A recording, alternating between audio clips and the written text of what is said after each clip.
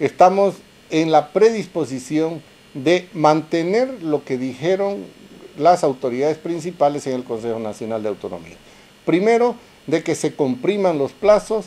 Segundo, de que se fije un plazo tentativo de que este trabajo debe estar finalizado hasta mediados de junio. Por lo tanto, el trabajo va a ser intenso y estamos viendo nosotros la manera de viabilizar. Se ha quedado ayer de que las reuniones de tanto socialización y de las, de las distintas etapas pueden realizarse paralelamente y también se pueden realizar en los distintos departamentos a cargo de las gobernaciones, siempre en coordinación, lo que son las entidades territoriales autónomas, con los ministerios, en este caso de planificación, de autonomías y también con todos los municipios. Con todo el esfuerzo que se tenga que hacer, porque es un trabajo moroso, es un trabajo técnico que hay que hacer. Esperamos que como meta nos pongamos que para el 30 de junio se tenga un documento final para su aplicación posiblemente el mismo año o a partir del 2018.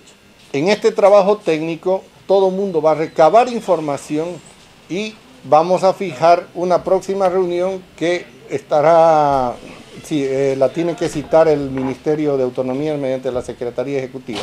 No hemos puesto plazos pero eso no implica que todos los representantes de las distintas instituciones, tanto el titular como el alterno, seguirán trabajando en lo que es paralelamente las cuatro primeras etapas y posteriormente entraremos a la quinta, que es ya la definición de fuentes de recursos. Queremos darle una integralidad a este trabajo técnico de lo que son las finanzas públicas y su sostenibilidad en el corto, mediano y largo plazo.